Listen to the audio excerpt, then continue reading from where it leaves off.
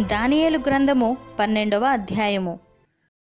ఆ కాలమందు నీ జనుల పక్షమున నిలుచునట్టి మహా అధిపతియగు మిఖాయేలు వచ్చును. అప్పుడు నీ జనులు రాజ్యముగా కూడిన కాలము మొదలుకొని ఈ కాలము వరకు ఎన్నటికి నీ కలుగనంత ఆపద కలుగును.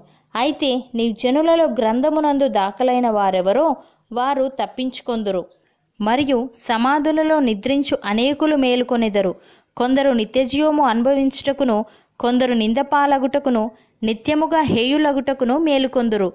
బుద్ధిమంతులైతే ఆకాశ మండలములోని జ్యోతులను పోలిన వారై ప్రకాశించెదరు. నీతి మార్గమును అనుసరించి నడుచుకొనున్నట్లు ఎవరు అనేకులను త్రిప్పుదురో వారు నక్షత్రము వలె నిరంతరము ప్రకాశించెదరు. దానియేలు నీవు ఈ మాటలను మరుగుచేసి అంత్యకాలము వరకు ఈ గ్రంథమును ముద్రింపుము. చాలామంది నలుదిశల సంచరించినందున తెలివి అధికమగును అని నాతో మాటలాడు గబ్రియేలను నతడు చెప్పెను. దానియేలను నేను చూచుచుండగా మరి ఇద్దరు మనుష్యులు ఏటి అవతలి ఒడ్డున ఒకడును ఏటి ఇవతలి ఒడ్డున ఒకడును నిలిచిరి. ఆ ఇద్దరిలో ఒకడు నారబట్టలు వేసుకున్న వాడై ఏటి నీళ్ళపైన ఆడుచుండు వాణ్ణి చూచి ఈ ఆశ్చర్యము ఎప్పుడు సమాప్తమగునని అడుగగా నారబట్టలు వేసుకొని ఏటిపైన ఆడుచున్న ఆ మనుష్యుని మాటను నేను వింటిని.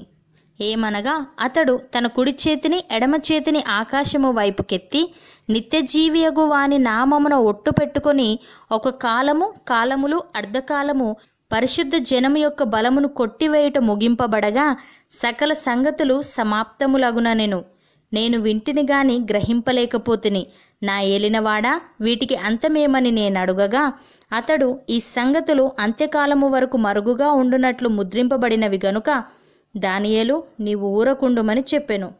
అనేకులు తమ్మును శుద్ధిపరుచుకొని ప్రకాశమానులను నిర్మలులను అగుదురు.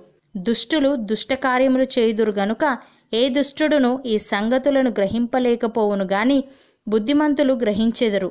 అనుదిన బలి నిలుపు చేయబడిన కాలము మొదలుకొని నాశనము కలుగజేయు హేయమైన దానిని నిలవబెట్టు వరకు వెయ్యిన్ని రెండు వందల తొమ్మిది దినములగును. వెయ్యిన్ని మూడు వందల ముప్పది ఐదు దినములు తాలుకొని కనిపెట్టుకొనువాడు ధన్యుడు. నీవు అంత్యము వరకు నిలకడగా ఉండిన ఎడల విశ్రాంతి నుండి కాలాంతమందు నీ వంతులో నిలిచెదవు.